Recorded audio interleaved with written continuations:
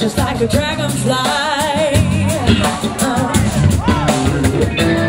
I'm flying to the sea, over the trees, in all degrees, to anywhere I please.